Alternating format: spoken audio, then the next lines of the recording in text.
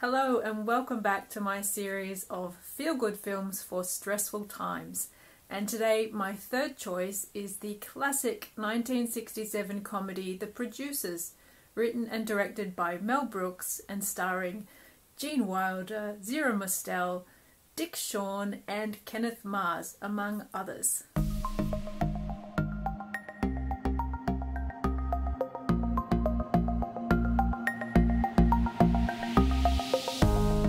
An unscrupulous theatrical producer, Max Bialystock, convinces a timid and anxious accountant, Leo Bloom, to help him in a scam to stage the worst play ever made and thereby make a fortune.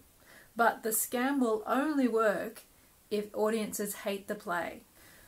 But is Springtime for Hitler the guaranteed to close in one night flop that they need? And if not, what extreme measures will be called for?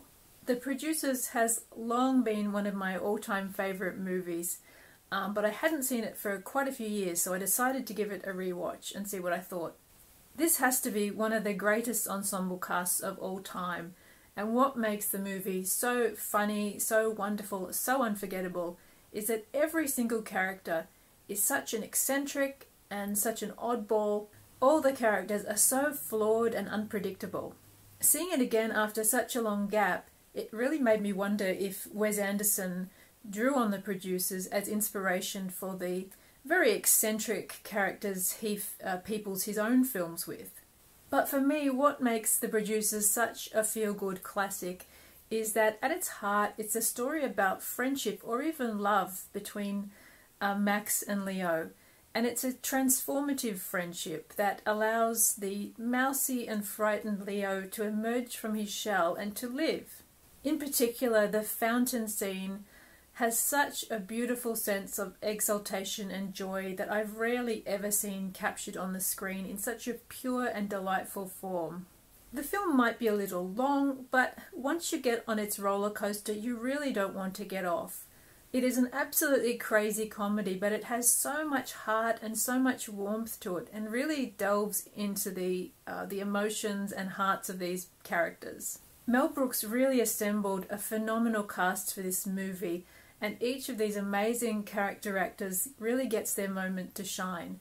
But for me, special mention must be made of Dick Shawn as LSD, and also my favourite, Andreas Voutsinas as Carmen Ghia, who was into contouring decades before it was a thing. One of the great highlights of the film for me is Dick Shawn's um, song Love Power, and it really stands out as a moment of pure, insane joy and delight in the movie. For me, The Producers has real magic in it, that really rare thing that happens when all the right ingredients come together in exactly the right way. And a big part of that magic also, I think, is Gene Wilder.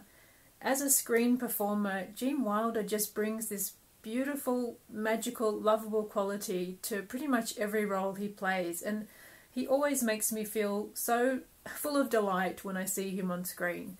Um, certainly, there's going to be more Gene Wilder films in this series. Gene Wilder's lovable and neurotic qualities combined with Zero Mostel's bombastic and explosive style really make them the perfect comedy duo in this film, and they are the heart of this wonderful movie. The Producers is an unforgettable comedy filled with laugh out loud moments and jaw droppingly eccentric characters. It's one of those rare films that I can watch again and again and always enjoy and always get a laugh out of. Uh, but more than that, it has heart and it has the beautiful story of Max and Leo's friendship at its centre. I hope you enjoy it, and once again, do let me know if you have any suggestions of feel good films that always lift your spirits. Uh, thank you so much, and I will see you next time. Bye.